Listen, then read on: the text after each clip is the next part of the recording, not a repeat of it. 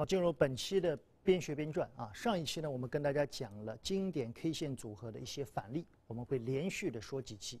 本期我们要跟大家说第二个经典 K 线的反例——三压形态。三只乌鸦和红三兵正好相反，它是三根有实体的阴线，而且每一根都有一定的位置，意味着连续的高开低走。我们在说一些反例的时候，也帮大家复习一下之前的一些经典案例。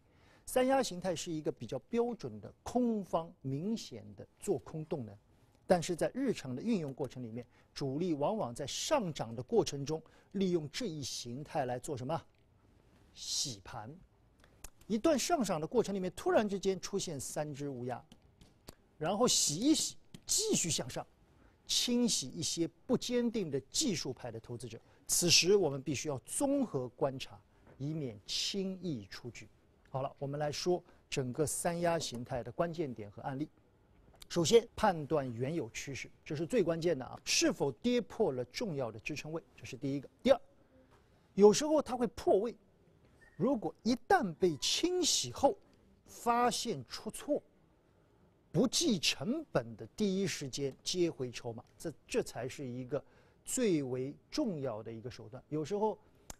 有人看五日均线啊，看六日均线，看十日均，它就是帮你跌穿，破位以后突然之间又被拉起来。这个时候你必须要知道，是主力利用了这样一种形态、这样一种心理而去做的反向操作。这时候你要做少数人才能做到的动作，甚至是极少数人反向运作，及时认错。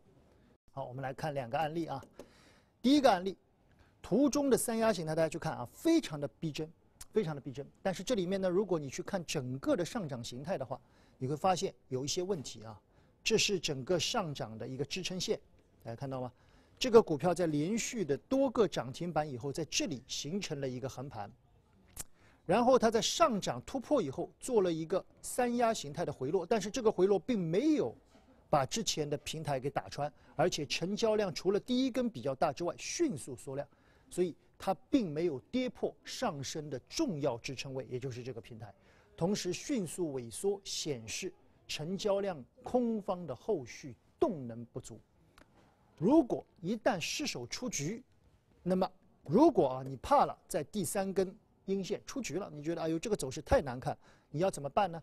在三压线的第一根阴线被反包回来的时候，也就是在这儿啊。把第一根阴线被反包回来的时候，要无情的纠错接回筹码，之后才是真正的主升浪。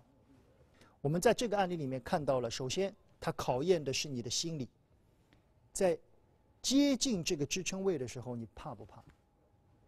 理论上说还没有跌破，所以这告诉我们，如果你看技术的人没有跌破，就是没有，不用动。第二，如果你错了以后出来了。再上去能不能够接回来，比你原有卖掉的成本可能要高百分之五，把它接回来。但真正的主升浪是在后一段。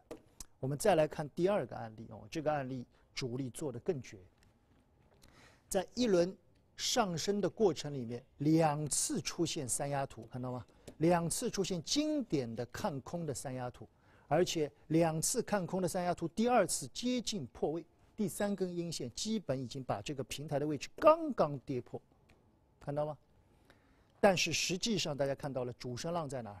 就是在第二次以后。所以在这个案例里面，我们认为是一个经典的利用三压洗盘震仓以后向上，实际的成交都很小。大家看啊，如果你真正懂成交量的，你就知道第二次的三压虽然很难看，但成交量极小极小，它是一个。用很小的筹码做出图形来诱骗的一个动作，这个时候要给自己留出余地，什么意思呢？忍一忍，忍一忍，你可以割，你可以再看一天，往往这一两天是非常重要的。第二，一旦反包啊，如果你出来了，一旦反包，那么在这里，请你把它买回来。如果你在这个位置出局了，再加百分之五的成本把它买回来，这个动作才是非常人所为。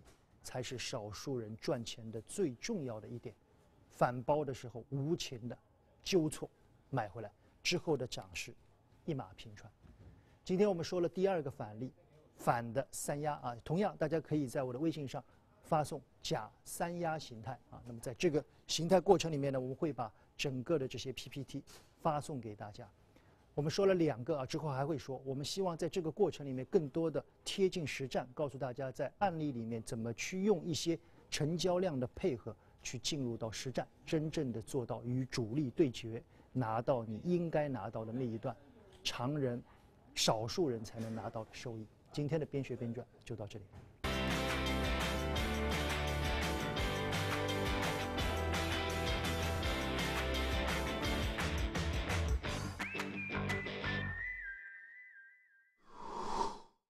好，本期的财经峰会就到这儿了啊。我们从破镜聊到了当下要关注的一些危机啊，还有什么在年底我们要关注的？呃，我想年底最要关注的还是要读上市公司的公告啊。其实可能读公告很很枯燥，但是你如果把它当做藏宝图来读的话，会越读越。